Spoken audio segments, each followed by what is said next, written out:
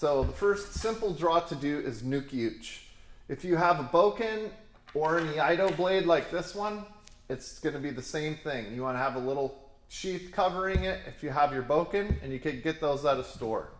Uh, so the first one is nuki-uchi. You want to say it over and over to yourself as you're taking the sword out, as you put it away. So as I come out and do nuki-uchi, I want to not really look at what's happening with my hands down low. I just want to keep my eyes out up and my head is always scanning the whole time because I might nuki-uchi in any direction. And this is what you should start to do after a while is just pick multiple directions to do this simple draw, nuki-uchi.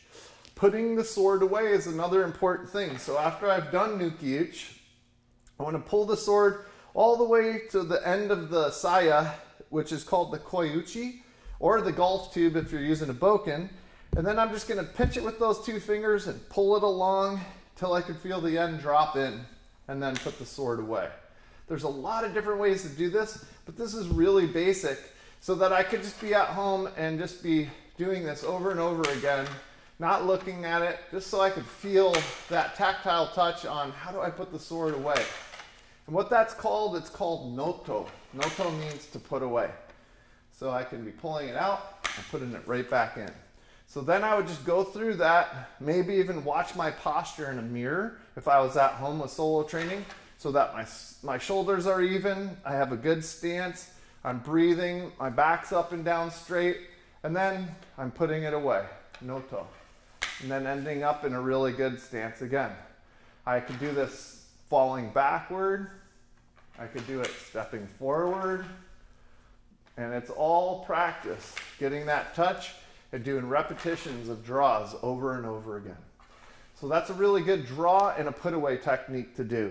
It's called nuki-uchi and putting it away is noto. So let's add a cut into that and we'll make a little fun form out of it. So as I step forward with nuki-uchi, I'm gonna pull my hands up together in Daijodan and step forward with a cut so this cut is called kiriroshi, downward cut. And then I'm gonna hold the sword out here to the side. This is a ready stance called zanshin. Katate hasso, one-handed hasso. Chiburi. And then zanshin again. And then noto. So this is a lot, and it sounds like a lot here in this form, but it's a very simple form that you can just perform over and over again and it's giving you different ways and stances on how to draw, how to cut, and how to put away the sword. So in doing this form and saying those words over and over again, what you're doing is you're starting to give yourself the ability to have tactile touch, know where your sword and your saya are at at all times, and then start to step out at different angles and perform these things. And you're getting the Japanese verbiage going in through your brain as you're doing it at the same time. So give this simple form, shohatto, a try at home.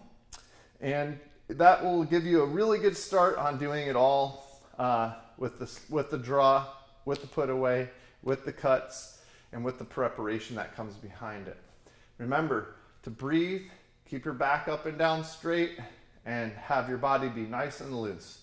This is a really good way to train. If you only had a few minutes a day, this is how I would start to do my sword training as a beginner.